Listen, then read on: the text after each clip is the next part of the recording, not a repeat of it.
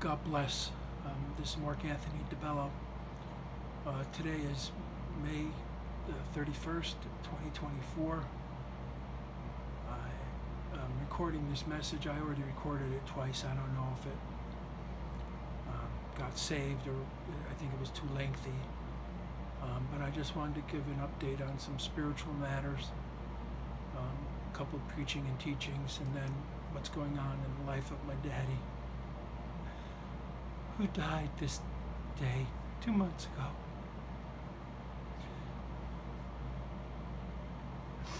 And also talk about my life and then a little bit about what's going on in the United States here where I am. And um, uh, the couple teaching lessons I want to give is I've written them before, but the same way the devil got kicked out of heaven for having pride and wanting to be like or overpower God, that's just in, in instinctual and, and a characteristic of all beings um, made of a creator. It happens with, you know, animal kingdom and God. It happens with man and, or women in God. It happens especially with women between them and men. It even happens with sons to their fathers and uh, second-born sons or brothers to their older brothers. And I've experienced all of them. Um, but it's not the way it's supposed to be. That's why, again, the devil got kicked out because he tried to be equal to God and then eventually would overpower God. Um, and that pride is sinful and totally ungodly. And I see it a lot, especially in this age of feminism and female self empowerment. And empowerment happens with women, with men, uh, especially with wives to their husbands, and even I see it in governments, um, and certainly in my own life. The second lesson I wanted to teach about is deceit, and I've said this or written it before many times. The devil, he's crafty and cunning. He's, you know, he knows, and, and like the most obvious lie is if, like, for example, I thought about this. If I told you this scarf was green, you'd know that's a lie, right? It's white. That's an obvious lie. But the three lies that the devil really tells, or at least the two others that are, are really demonic, are if, for instance, I asked you to close your eyes and then I said, the scarf I'm wearing is white, and you didn't believe me. You said, no, it's green. You can tell me all you want. It's not white. You don't believe me. It's a lie. Whether I'm telling you what God knows or thinks or speaks, or whether it's my own, you know, words or thoughts. I, I you know, that's just the way the devil is, and the people who follow the devil or who are deceived by the devil. And that's the second lie is that the devil's a deceiver. He either wants you to believe he doesn't exist so he can get you to believe anything, or um, you know you believe him you don't believe the truth okay like i said. And then another version of that is and i recently had this done to me and i have to be careful in a sense because i was just in court on may 29th and i'll give an update on that. But that lie is that a person can you know purport to think they know what's in your heart or your head and say you know and falsely accuse you and in my case it's led to you know multiple false arrests where they say no this is why this person did that or this is what this person was thinking in, in particular me. And i'm like you don't know what's in my heart and head. You're just lying. You know you're being deceived or it's really usually a, a free will choice that the person makes. They know what they're doing. They know that they're lying. Um, and like i said i've had that happen to me. So those are the two spiritual lessons that really come into play uh, a lot with me these days and even in the life of my daddy, um, because even though he's gone and you can probably see the bags under my eyes, I still don't, I get nightmares at night, which I began a lot when he was in trouble and reached out to me for my help and just for the things that we both, you know, enjoy together, which is who God is. He's the God of love, life, joy, and peace. And I certainly, because of my daddy, always try to follow the commandments, especially thou shalt not kill, thou shalt not lie, thou shalt not steal, and even certainly honor thy father and mother because God knows and I, I know my mom knowed how much I adored her. I mean, I'll never love anybody more than my mom or dad, but my I only got to know my mom mommy 21 years, but I had got to know my daddy 63 three times more.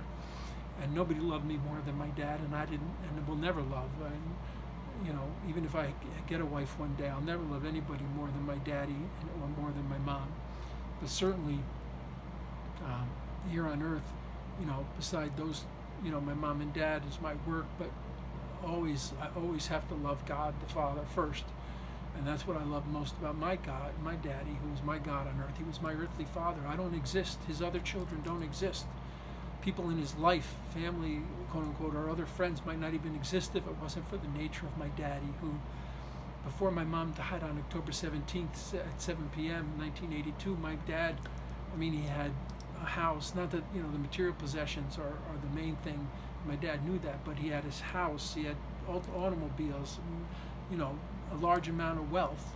Um, you know, he had a clean cr- criminal record. He had a business. Um, he had his mind. He was, you know, had an unbelievable mind, a great memory, high intelligence, comedic, charismatic. I mean, all the blessings that I think I have, you know, were bequeathed and given to me by the Lord God above and by my dad. And that's what I was created to do, is to preach and to play things also my dad taught me to do. And preach could be writing or video or music or, or you know, something, you know, any kind of media, and certainly play, whether it's sports or some kind of game. And, and but I was also made in my dad's image. I adored my mom, but you know she was made in a certain way. And my dad, I'm genetically just like him. Um, but together they were a perfect union, and I was blessed to be the, again their firstborn son. And my dad, you know, created me to be his extension here on earth and, and to serve him, and not to overpower him uh, like other people you know have come into his life and tried to do, and even some of his own, whether they know they're doing it or not. Again, whether they're just being deceived or careless, or they just you know are making that ungodly choice to overpower. You know, we're, we're just serve. I'm here to serve my daddy. Um, you know, again, I owe my life, uh, and he, you know, um, he was my God here on earth. So, as I said, with him passing two months ago, quite honestly, you can again. I don't know if I mentioned about the backs under my eyes. I don't sleep either. I'm depressed to the point of sometimes being suicidal, or just angry to the point of you know just again I can't kill anybody, uh, and I get that includes myself. I don't kill critters. I don't eat critters. I mean you know, you just can't do that. I mean I, am you know I have a God I have to serve. I want to get to heaven. Um, you know so again I can't do that, but I can't you know it's it's very hard knowing how my dad, and I'm not saying by whom, because I'll get to this court thing, but my, how my dad was suffered in pain and was victimized his final years of his life, and how all he wanted to do was relocate and be with me. And the God that we serve, that I might have mentioned, is the God of love, life, joy, and peace. And that's all he and I wanted. And I just know that my dad, his final words, in a sense, are just, I want to live and be happy. You know, and I know even my dad, because of things that were happening to him, he became even suicidal. And my dad was never that way. Never, never.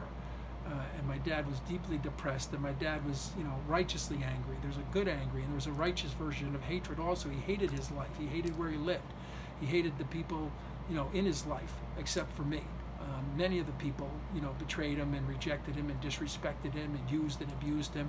And he realized that as he got older, you know, that he was misled by certain people and that his life was, you know, he wasn't loved for who he was as a human being. He was loved for his money and because of certain person or people and their supporters wanted, you know, power and control and would cultishly coerce and control my daddy.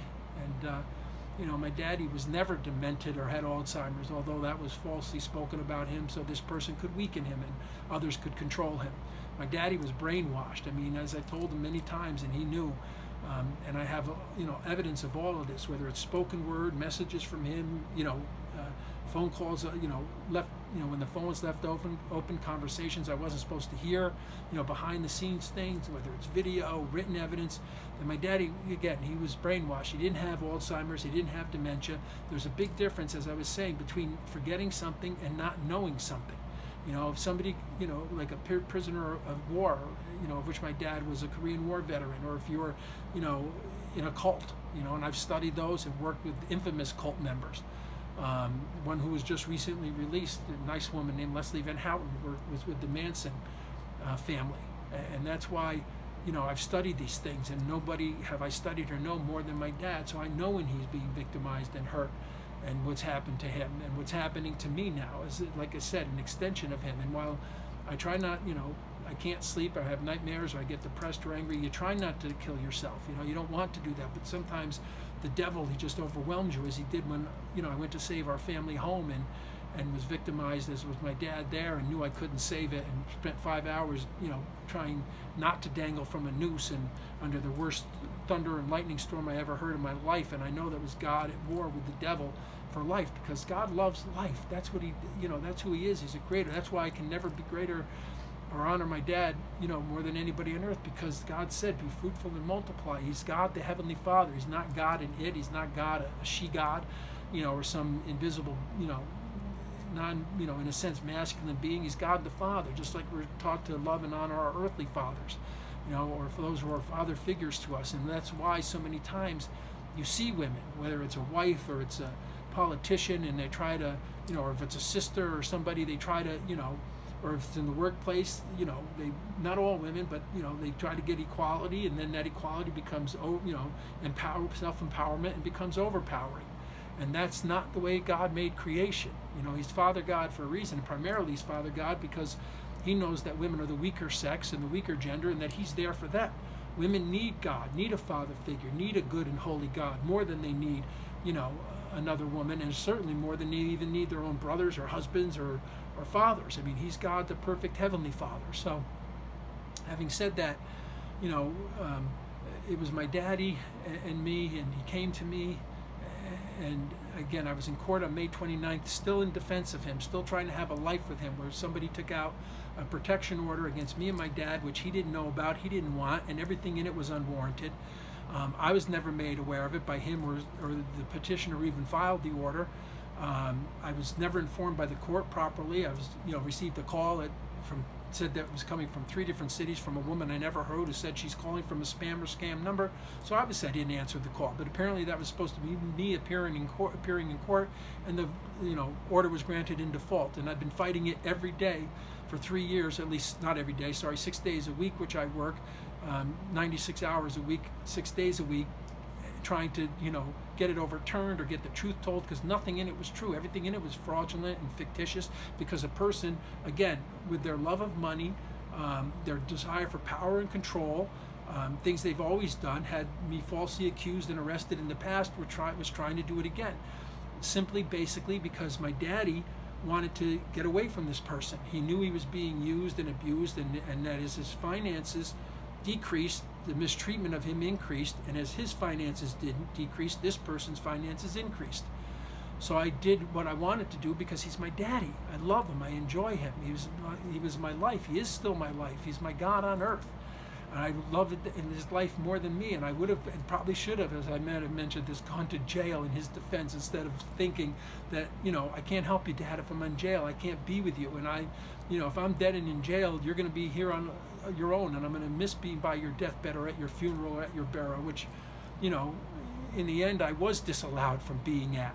I couldn't even go to my own daddy's funeral and his burial because of what was done to me in the legal system and by a government who, you know, every step of the way has been as ungodly as it gets. I mean, I, you know, they say justice delayed is justice denied. Well, that's certainly the truth in my case, and I can see the spiritual things that are going on here, and the lies and the injustice and the unfairness.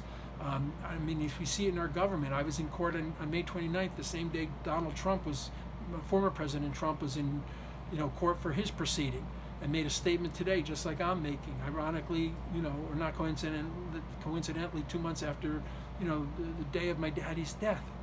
And again, my dad came to me for my help. He was begging me for help. He wanted, we wanted to enjoy life together and enjoy peace and have love together. Uh, and again, that was denied him, and, and again, it was denied me.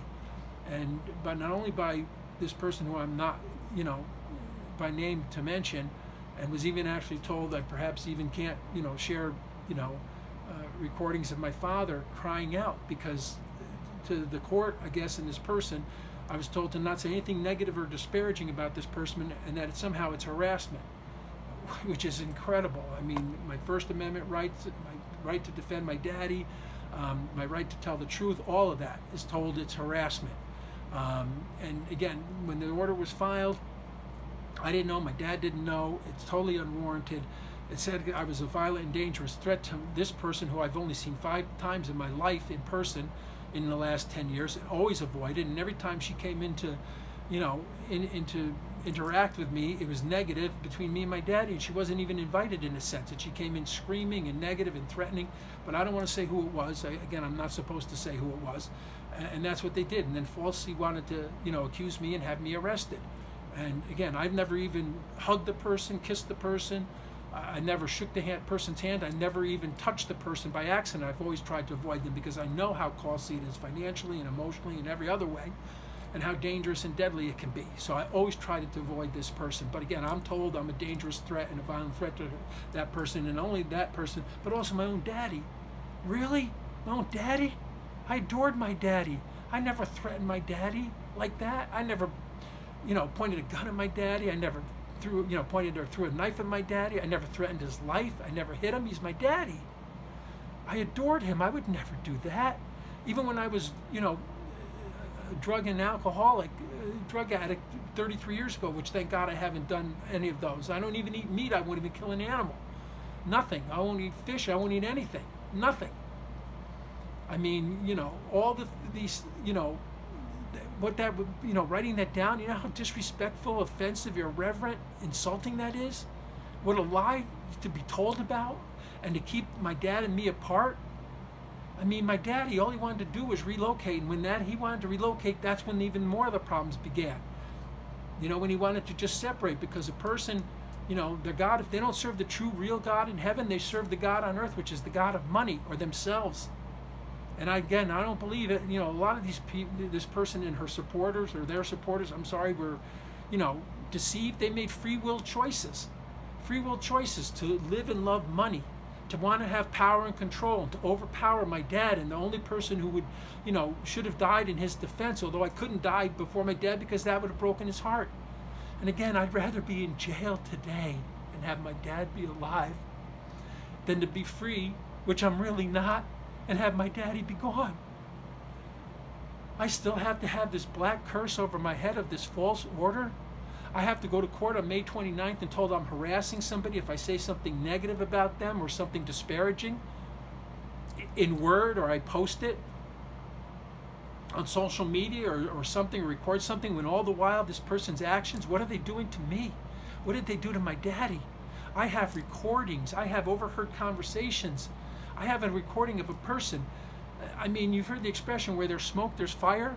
I have a recording of a person after my dad spent millions of dollars on this person, gave this person everything they ever wanted, just like he gave, you know, his children a lot of things throughout their life.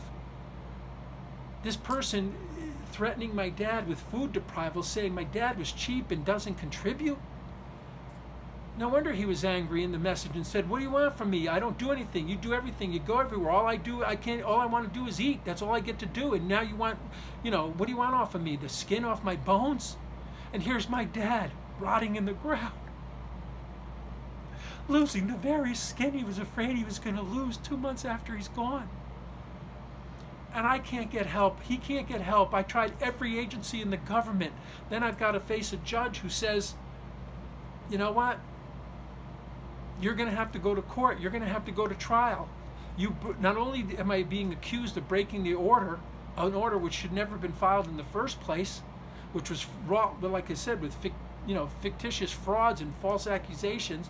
And again, this person or a per you know there was a person who had been falsely arrested three times already, falsely accused me of stealing a, a truck, falsely accused me of stealing videotapes my dad gave me to borrow. Went so far as to not only want to threaten to have me thrown in jail, but to sell my own grave plot next to my mom and dad for 825 or 875 dollars. Not only would they lie and do that, something as devilish as that, but also want to profit off of it. Like my dad said, there's certain people who, you know, all they love is money. And the dad, my dad said this person was the greediest person he's ever known. And I know the same thing. I held out five dollars once to my dad. This person came storming out of his house 10 yards away and grabbed the money right out of my hand. Any money that goes to him is mine. I mean, I gave my dad money. He put $500 to hide in his Bible. The next day it's gone. I gave my dad money. A person came up to him and said, "You know what? You've got to give me that money because you have Alzheimer's. You'll forget. You'll forget. You'll for, sorry. You'll forget where it is." I gave my dad five thousand dollars in the last two to three years, my life savings, and this person accused me of stealing my dad. This person accused me of of wanting to steal my dad's identity and stealing from my dad, and that's why I wanted to know my dad. Steal his identity. He gave me his name at birth, Mark Anthony DiBello, Anthony Francis DiBello. He loved, he trusted me to give me his name at my birth. I've honored his name my entire life.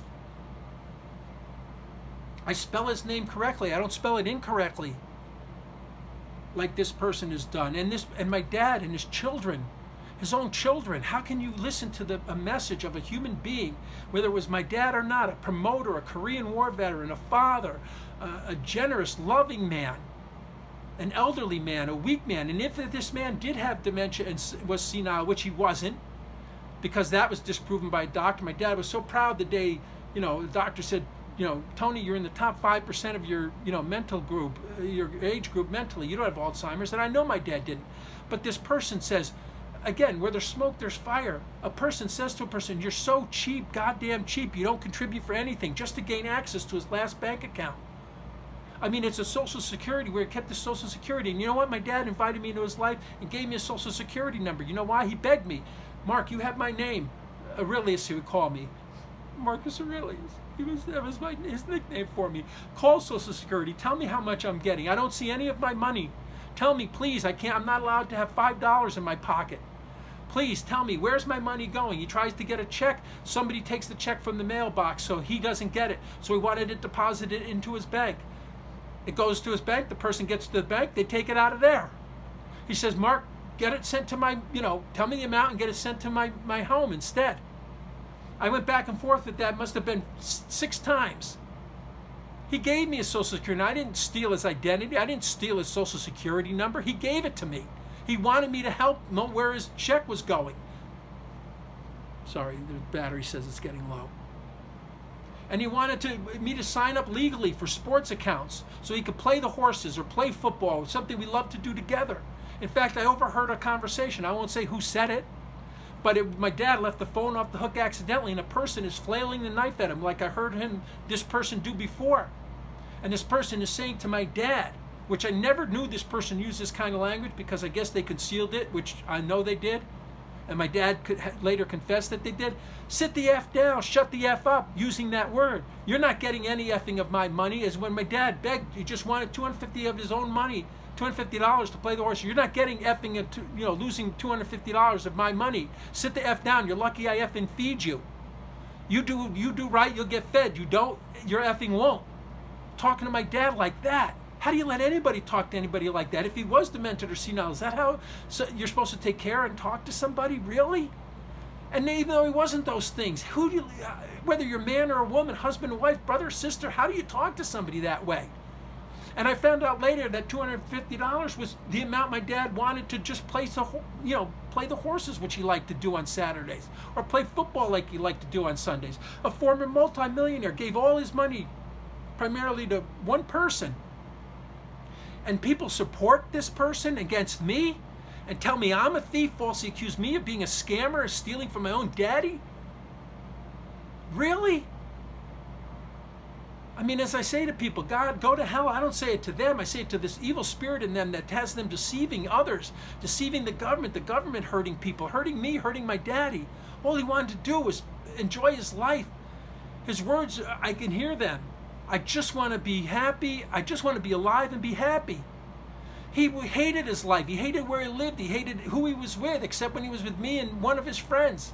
And periodically, maybe, maybe, maybe one of his children, but they all disappointed him. They all betrayed and rejected him. He has a wealthy millionaire, multimillionaire second son who he completely feels rejected and betrayed by, just like I've been. Sure, he's helped in past, you know, and supported in the past, but he supported others in devilish, you know, devilish destruction more. Certainly, I know because he's an atheist, and you know, his money is God is his money, and he never believed me, never, always distrusted me. I understand that, and and the other ones, his daughters, who didn't like me, or you know, they had this empowerment thing, or because of their, you know.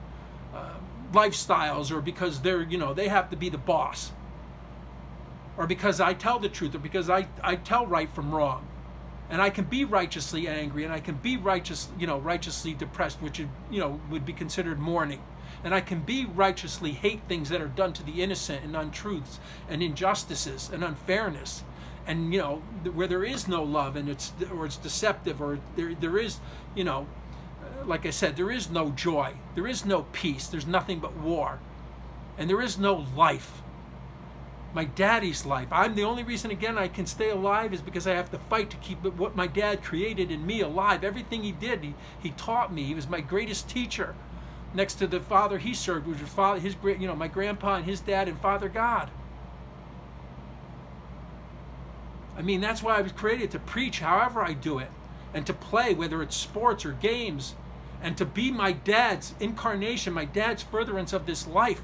He, he, I, I told him, Pop, a lot of times I feel like I was a robot. You made me enjoy the things I enjoyed. That's what you taught me to, you know, that's what you exposed me to. That's what you blessed me with. I act like you. I think like you. I mean, I can't help it, and I don't want to help it most of the time. Of course, I try to be a better person than my dad was. That's why you have a son, you know, so he can you can teach him. He can be better. He can do, you know, improve upon what you, you know, the, the fruits of this earth that you laid when God said, "Be fruitful and multiply."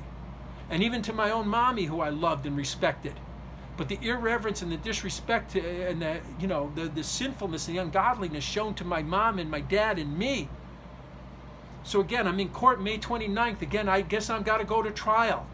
I guess I'm still harassing somebody. I guess I broke an order if I, God forbid, geez, I, I got my last message from my dad two months before he died. Maybe if, you know, if I played that message, I don't know, maybe I guess that's considered, you know, breaking this order. I'm not allowed to have a life with my dad, communicate with my dad. And that's all my dad and me wanted. I didn't, you know, I didn't love my dad for money. My dad's life was priceless. I loved my dad freely, the way he loved me. We didn't need to have power and control over anybody, and if we did, he had power over control and control over me, which was his God-given right, and that's okay. But the love of money to destroy lives and to risk a life to have somebody again falsely accused and falsely jailed? So somebody can profit and to have supporters that, that endorse that and condone that. No wonder what I saw President, former President Trump talking about in the judicial system. I know it. I've experienced it. It's unbelievably ungodly, and you can hear the passion in my voice. And now I'm a little more on the agitated side than I was on the tearful side because I, like I said, I played, done, tried recording this message, which I'm going to complete here in three minutes or less, and cried my I cried so many tears. I adored, I miss my daddy. He should be alive. I shouldn't have this cloud and this curse over me. I shouldn't have, you know, to live my life this way. And worrying about imprisonment, losing my, you know, I gave my dad all my wealth practically. Losing my, I mean, homelessness, all of it. I can't work. I can hardly eat sometimes. I had, you know, I told my daddy I'd go into, you know, if he was going to suffer with fears, which he suffered, if he's going to suffer with depression and, you know, because he's being oppressed and, and, and being, you know, in many ways tortured, I won't say by who, and being berated and demeaned and disrespected, I'll be there for you, daddy. Now my daddy's gone and, and I'm still apparently under this you know, this person needs protection from me. And I'm harassing people. And I need to, you know, be accountable for, you know, trying to, or perhaps having communication or relationship with my dad over the last, I guess they told me 2022. I was disallowed from having any communication with my dad. Or, or even talking about any of these overheard phone calls. My dad's, you know, uh, you know, my dad's life being threatened and I know it's evil. I've called every agency in the sun, under the sun. No, it's not true. That's, oh, really? I know what I heard. I'm not demented. I'm not delusional. I don't have Alzheimer's, and neither did my dad. When I didn't know there was a protection order, I'm talking to my dad. He's, you know, I'm interviewing him in Tampa, where he loved being with me. He's singing. He's happy. He's talking about what he had for breakfast as, as you know, clear-headedly as he what he had for dinner the night before to events from 65 years ago in detail. He didn't have Alzheimer's. As I told him, as he knew there's a big difference between forgetting something and not knowing something. He was brainwashed. It's not hard to understand and see what perspecticide is. Now, I'm not saying who did it to him. I'm just saying it was done to him. And it wasn't, sure as hell, wasn't done by me. Anyway, this message was not the way I wanted it to come out, totally like this with this agitation and anger. Although it can be, it is righteous indignation and anger, and the same, way, like I said, can be said for ha- hatred and even righteous, righteous depression, which is otherwise considered mourning. And again, the hatred, the hatred of injustice, lies, of, of death and destruction.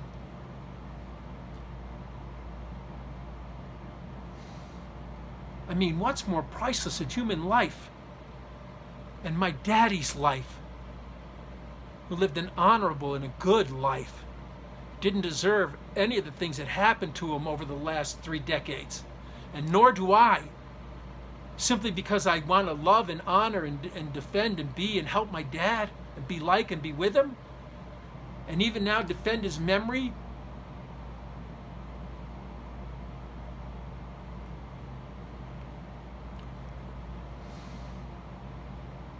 So, to everybody or anybody,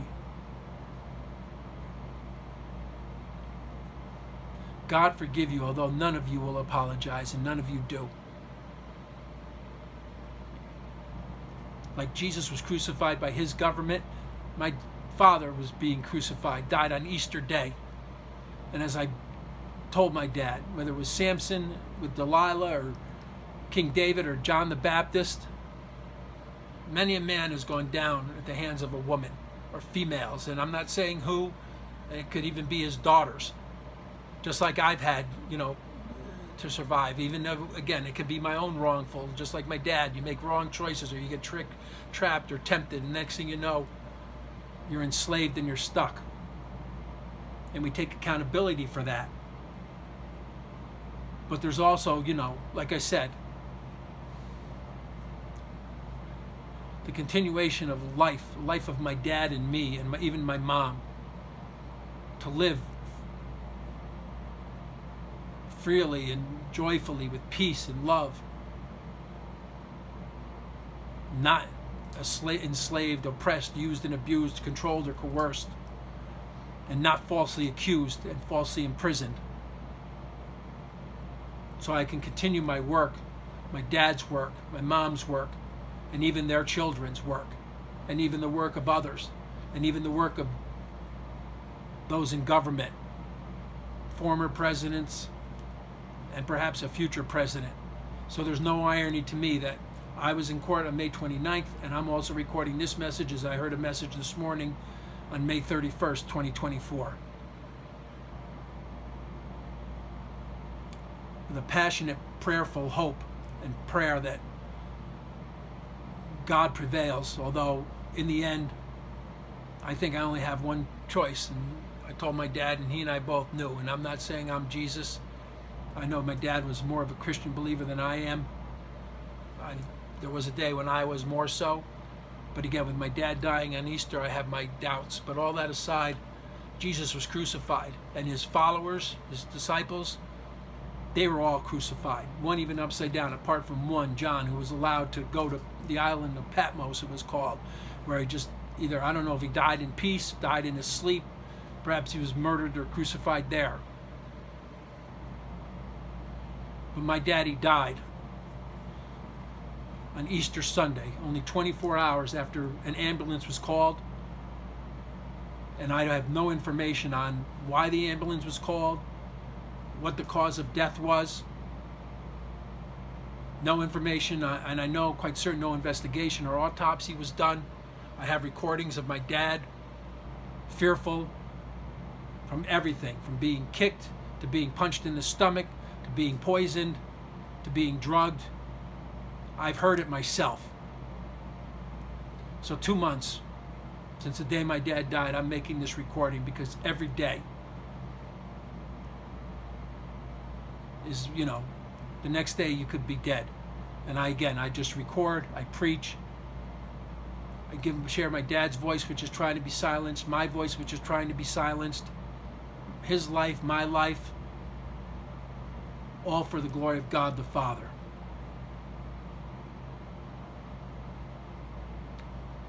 God bless.